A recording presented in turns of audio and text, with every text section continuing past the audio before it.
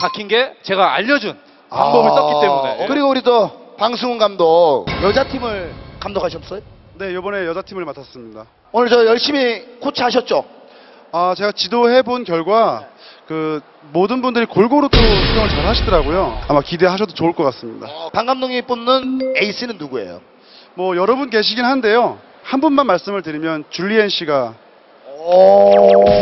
우와. 그러면은 여기서 남자 팀의 에이스는 저희 팀은 아무래도 니엘이. 어, 뒤에 이 일이 그렇게 됐어요? 여기서 누가 제일 힘든 선수예요? 그 박재민 씨가 아무래도 근육이 많아서 자꾸 가라앉는 거예요. 출발 드립니다. 수영 대결 사상 최초로 시도되는 빅매치 남녀 수영 성대결. 대한민국 최고의 감독에게 비밀 특훈을 받은 수영 최강자들. 받쳐주신다고 생각하세요. 이 탈로. 슬라이드 하나, 둘, 셋. 남자의 자존심을 걸었다. 조희연 감독이 뽑은 남자팀 에이스 늘었다. 이상호 손호영 남녀 성대결에서 새 역사를 쓰겠다. 방승훈 감독이 뽑은 여자팀의 히든 카드 줄리엔 김소정 어, 다크호스. EXID 하니 과연 이들은 끝까지 에이스로 남을 수 있을 것인가 남녀의 자존심을 건 한판 승부 막상막하 대접전이 지금 시작합니다 자 남녀 수영 성대결 먼저 본격적인 대결 전에 남녀 자체 예선전 경기가 있겠습니다. 자, 저쪽이 이제 스타트 쪽을 보시면 그 저 기둥이 있습니다. 네, 계단 형태로 되어 있는 스펀지 기둥을 밟고 뛰어오면서 입수를 해서 그때부터 이제 영법에 들어가면 되고요. 각조 1위가 먼저 자동적으로 결선에 진출을 하고요. 각조 2위 선수 중에서 기록이 가장 좋은 선수 한 명은 결선에 올라갈 수가 있습니다. 1조 제가 지금 발표해 드리겠습니다. 1레인 4레인까지 1레인의 이상호 2레인의 쇼리 3레인의 최성조 4레인은 손호영 씨 누굴 것 같아요? 손호영 씨.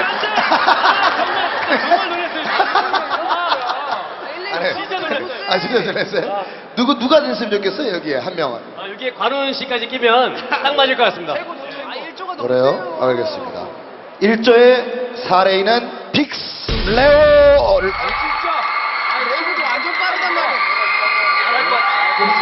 자, 남자 예선 1조 경기입니다. 자, 선수들이 입장을 하는데요.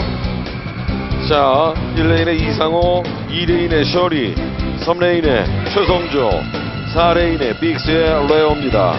장애물에서의 이 미묘한 차이가 경기 후반의 결과에 반드시 영향을 줍니다. 준비! 신호 주세요. 자, 남자 예선 1조 경기. 자, 남자 예선 1조 경기. 자, 레오가 가장 먼저 입수를 하고요. 레오가 가장 먼저 입수를 하고요. 최성조가 가장 늦게 입수합니다. 고양이 좋으세요? 자, 시원하게. 자, 시원한 영법으로. 네. 현재. 자, 레오, 지금 레오 현재 일등. 현재 쇼리 사- 1등, 쇼리 1등. 4레인과 아, 쇼리가 막판에 좀 치러 옵니다. 와, 이상호! 자, 자, 뒤늦게 쇼리가 출발했던 쇼리가 경기 오. 후반 지금 1, 2레인이 각축을 벌이고 있어요. 자, 1레인, 2레인 쇼리다. 자, 1레인, 2레인 쇼리다. 쇼리. 2등 이상호. 쇼리 1등. 2등 이상호. 쇼리 1등. 오늘 쇼리가 또 머리가 짱이다. 역시 쇼리 형. 아, 제가 처음 시작할 때, 아, 좀 스타트가 늦어가지고, 어, 좀 불안했는데, 아, 진짜, 죽을 힘을 다해서 했습니다. 다시 한번 축하드립니다. 쇼리 1등. 예. 2위만 말씀을 드리겠습니다. 1조에서 1위는 2레인의 쇼리가 1위, 1레인의 이상호가 2위인데요. 자, 일단 각 조에서 2위까지는 무조건 해놔야 2위는 기록을 가지고 또